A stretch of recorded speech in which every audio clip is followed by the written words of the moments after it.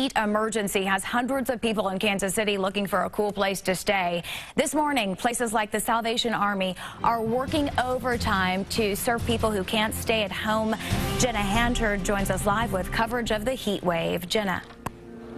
Good morning, and one of those places that people can go is right here at the Salvation Army on 9th and Bell Bellefontaine. This room, this area is where people can come in and cool off. There were a lot of people that were here earlier, but they left because they didn't want to be on television. But you could still see the remnants of their stuff here. They came here, brought their bags, and they can sit here and cool off. There's also snacks and also cold water for people to enjoy. And now we're joined here by Captain Williams from the Salvation Army, who's here to tell us a little bit more about these cooling centers. What else do you have to offer?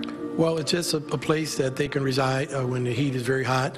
Uh, we provide water for them. Also, we provide fans for those that have a parent in the home and can show a current uh, light bill as well, and some ID. And also, we provide air conditions, but they have to have a, a statement from their doctor uh, stating the reason why.